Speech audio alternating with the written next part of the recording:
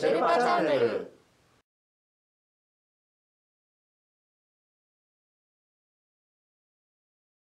まあ、あの、この後は、じゃあどうすればいいのっていうね、実際に指導も明日からやる場合、やってんだよと、もう今日もやってんだよっていう場合にどうするかっていうことですよね。うん、そうですね。あの、その英語をできるだけ多く使ってやるっていうことに関して言えば、なんか最初が肝心っていうのはあるかなと思って、あの、最初が肝心っていうのは、まあ、これも先生のスキルがいるわけですけど、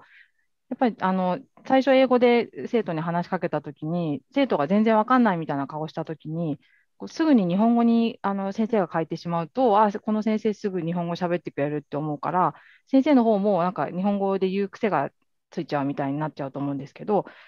まあ、そこでちょっと一歩踏ん張って、えー、と違う易しい英語でまあ言い直してみるとかっていう、そのまあもうその場で授業外、仕事外のところでトレーニングを積む時間がないんだとしたら、まあ、もう授業を、まあ、実験台にするっていうか、自分のスキルを授業をやりながらあのアップしていくっていうことしか、まずはないのかなと思って、例えばあの50分全部をあの all English とかが無理だとしても、冒頭の10分だけはとにかく意地でも、なんとか英語で生徒とコミュニケーションを取るように私は頑張るのだっていうふうになんか決めて、そうやって例えば、あのまあ、どうですかね、1ヶ月頑張ってみるとか、うん、1学期頑張ってみるとかってやると、なんかは弾みが少し先生の方もつくかななんていうのを思いました。はい、それからあの、えーと、英語問題と、それから解説問題、一挙に解決する。一挙に？解決する方法、うん、方法なんですけど。ありますか？おあありますよ。えっとね。それもうちょっと早く先生言ってほしかった。時間大丈夫ですか？あまだああと大丈夫です。あのね。はい、あのね、結局僕よく考えるのは、あの意味、ね、うん、この意味何っていうのがあを基本的にすればそんなに難しくならないんですよ。さっきのね、さっきのこの日が何にかかる、何を指しているかっていう、そんなの日常生活で言わないでしょ、そんな言い方。うんうん、だけど、これさ、ヒーとかシーとか、あの、ヒー二つ出て、ジョンと、えっ、ー、と、マイクがいるよね、とかなんか言うときにね、このヒーはどっちだったかなっていう。これは普通の日常会話であるじゃないですか。うんうん、そういうふうに意味でやればいいのに、この代名詞が指しているものは何かっていう、うん、そそんなもの日常生活で、ちょっとお母さん今、え彼って言ったけど、彼って彼の、彼を指して彼をその、そのあれを指している単語は何ですかって、そんなこと言ったら、うちの、うちの子大丈夫かなというふうに思うじゃないですか。うん。だから僕普通に意味理解をするというような言い方で、その、うん、やれば、解説なんかもそうなんでね。うんうん、あの前にもちょっとこのチャンネルで言ったかどうか忘れちゃったけど、あの関係詞なんかをね、その導入するときに、僕は日本語でまさにそのオールイングシとこうちょっとバッティングするとこだけど、日本語出しちゃえばいいわけですよ。で、日本語でも例えば、えっと、お父さんが買ってくれた時計とか言うじゃないっていう。それ言うよねっていうのは生徒は、おお、言う言う。まあ、買ってはくれないけど、とかなんか、それは、それは現実の問題で別にかけない。でそうしたら、英語ではこう言うんだよって、それでやっちゃえば、どうっちゅうことないんだよね。うん。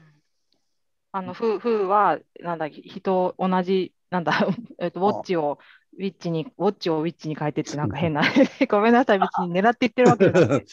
ウォッチをウィッチに変えて、あの、前のウォッチの後ろにくっつけるとか、そういうなんかそういう説明じゃなくてってことですよね。まあそうそう、それからどんな時計とか、うん、それから資格の時がどうしたとかね。はいはい。目的確僕だってもう全然わかんない、あんなの。なるほど。だから、そうじゃなくて、日本語だってそう言うんだけど、言い方が違うんですよね。うん。ただ、英語を教えるときに、結局日本語にはないけど、英語にもある。英語にはある。日本語にはあるけど、英語にはないとかっていうのは難しいですよね。うんだけど、この関係詞って要するに説で名詞を習得するっていうことは日本語でもあるわけだから。そうですね。日本語、英語両方あるから。まあ、平気であるじゃないですか。ね、彼女がくれたプレゼントっていう、うん、言うじゃない。そういうことをあの日本語では絶対言わないって言うんだったらね、これは問題だけどね。だから、あの、例えば監視なんか厳しいわけですよね。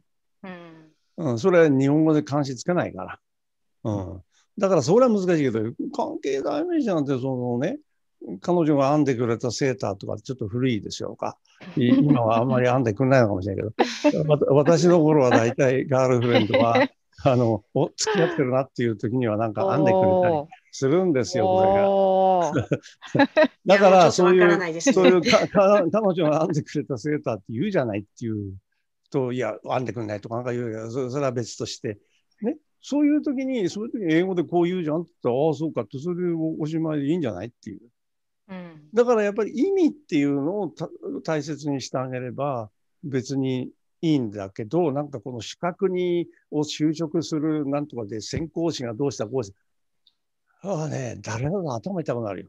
うん、うん、だから今もう一度言いましょうか。要するに英語で言う時にも、はい、英語で言うっていうこともあのあるし、それから解説を分かりやすくするっていうことも、やっぱり意味を中心にしてあのやってあげれば、案外難しくないよ。だから、Who is he? ね、これ、Who is he って言ったっていいし、この he って誰って言ったって同じなのに、なんでその、な、refer to とか言うのかっていうのは えー、それはもう、だから、これ、一挙両得じゃないですか、これ。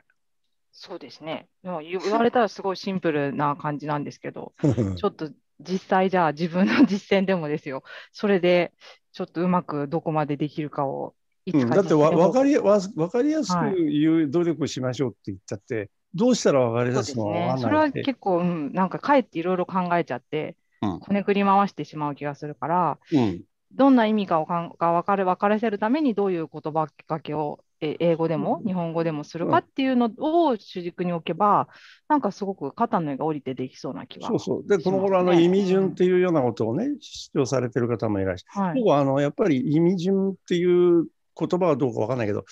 そういう基本路線でいいと思うんですよ。一体誰が何をどうしたの？みたいな。よく、よくそんなゲームしたじゃない。はい、はいね、ああいうやつでだ誰が何したの？誰に？どうやって？とかでなんで？とかいう全部ほとんどそれすんじゃうよね。うん、あただ官僚とかですね。それから、えっと、監視とかはなかなかそうではいかないかもしれないけど、まあ、全部は全部いかなくても、うん、大筋それで僕行くように思うんだけどね。うん、はい じゃあ、そろそろそろ時間になりそうなので、はい。じゃあちょっと今、希望の光が見えたような、